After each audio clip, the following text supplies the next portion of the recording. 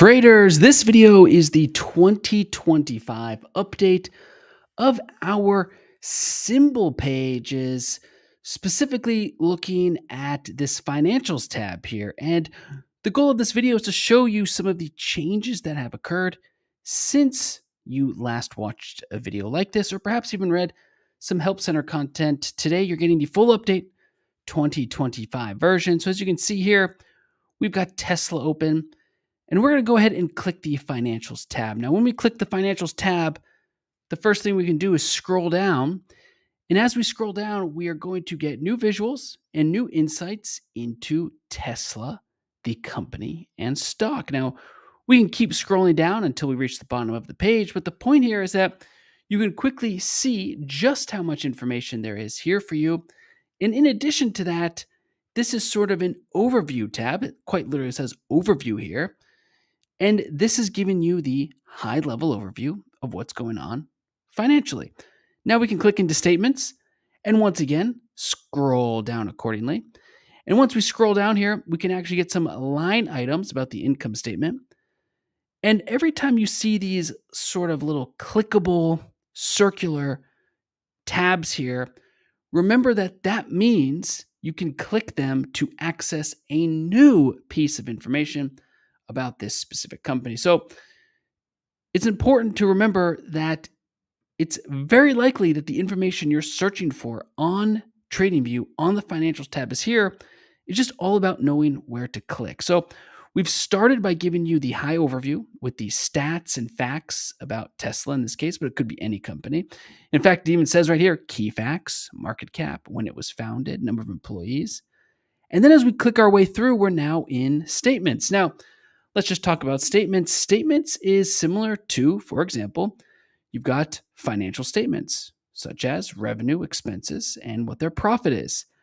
And as you scroll down, you can see all this information, which comes directly from their statements. Now, if you're familiar with specific companies, you know they have an income statement selected here. There's a balance sheet and there's a cash flow statement. So you've got three different statements. Click through each of them. And one of the great things you can do here is as you scroll down, you can, first of all, look for these little drop down arrows that you can click and they'll drop down, which means you can get a little more information about each line item in this income statement, research and development, for example. You can also, of course, toggle this to annual or quarterly. Now, just to quickly explain that to you, if it says quarterly here, well, that means it's every three months, it's a quarterly report. Q1 2025, Q4 2024, Q3 2024, Q2 2024, Q1 2024, and now we're back to Q4 2023. So it's operating quarterly. Each column here now means three months. That's how many quarter, how many months are in a quarter. If we click annual, well, all of you know what annual means. It's yearly. So now you can see 2024, 2023, 2022, 2021, and so on. Now, you can click between annual and quarterly and still click through your specific statements, and everything will be updated nicely just as you're used to. Now, in addition, you have these nice visuals up here, and always keep in mind as a nice little tip is that if you click a specific line item in this income statement, but it could be balance sheet or cash flow, you can adjust the visual up here. So I have total revenue and watch this. I'm also just going to click, let's just click taxes. So we have total revenue and taxes. If I scroll down and if I click here, let's do EBITDA. Now I've got total revenue, taxes, and EBITDA right here before my eyes. And you can make your own just by clicking through the line items of your choice. Remember now, that also applies not only to income statement, but balance sheet and cash flow as well. So you can click these tabs, then click the drop down, and you are off to the races. I'm on annually, so I'm going to switch back to quarterly actually. Now, moving along here, it is important to remind you that you can click through these tabs to get more and more information. So, before I now dive into each of these in detail, let me just remind you there's statistics, there's dividends, there's earnings, and there's revenue. So, as you get started here, you might click through these different tabs and you'll see all of the data in front of you just like this. Now, do keep in mind for dividends, for example, if the company doesn't pay a dividend, well, you guessed it, it's going to be empty. In fact, it says right here Tesla has never paid dividends and has no current plans to do so. So that means you're not going to see any information here. But if you go to a company that does pay dividends and click this, this will look a lot different. So now going to statistics, well, statistics is something that you can think about in terms of financial statistics that everyone is aware of, that most people know if you've been in markets for a long time. It's essentially a way to look at the income statement and turn it into specific stats. So, price to earnings. So, what is price to earnings as an example? Well, price to earnings is how much money are you paying for each dollar of earnings? So, if you buy the stock, how much are you paying to, to own that stock per dollar of earnings?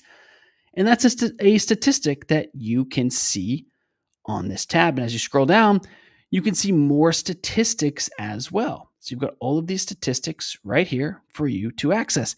In addition, you can always click.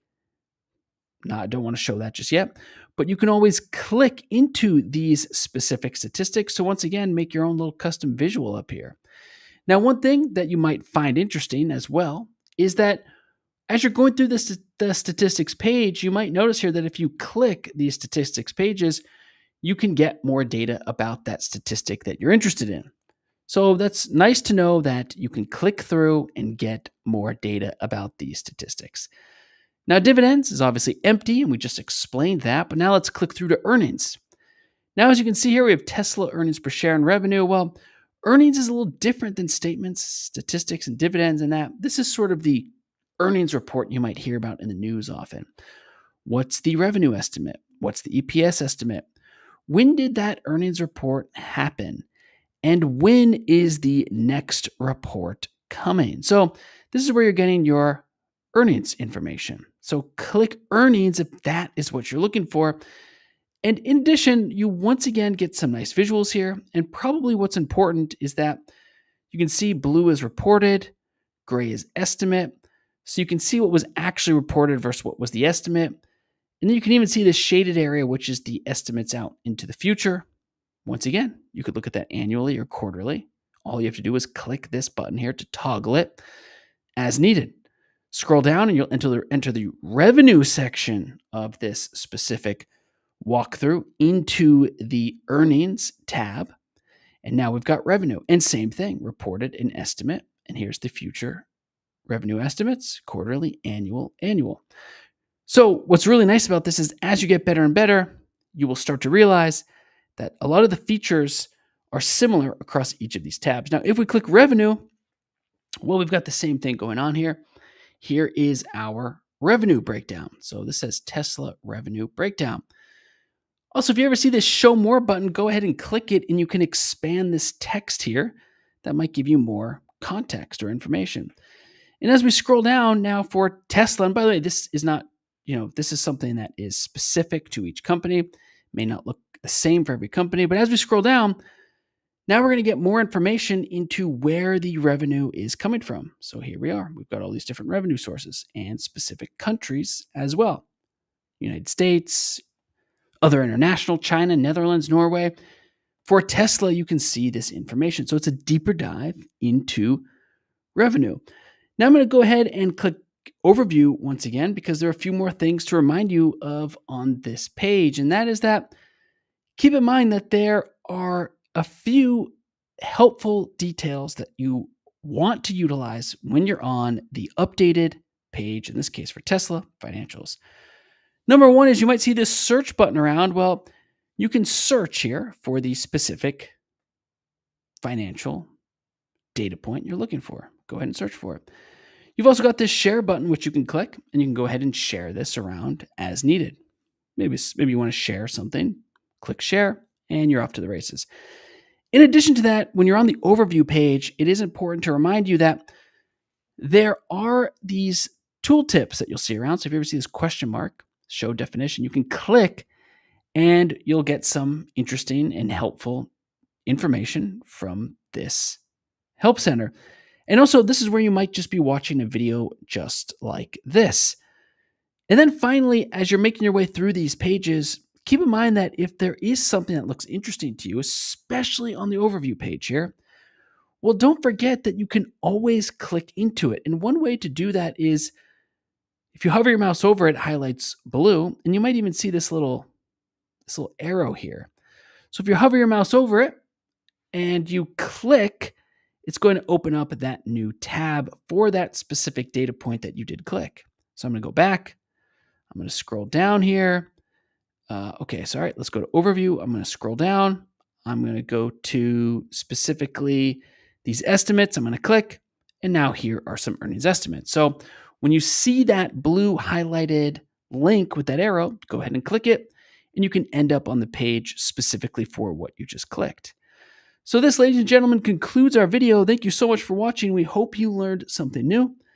And of course, be sure to leave your comments and feedback below. And remember that if you leave us specific comments and feedback, we're listening and we will do our best to respond. And we also have a help center that's here to help you, as we showed you. If you see that little tooltip around here. And in addition to that, our YouTube channel now has several hundred videos that are covering all of the features and tools on TradingView. So be sure to check out those specific videos if you want to learn more. So thanks so much for watching. Press that subscribe button, and we appreciate your time.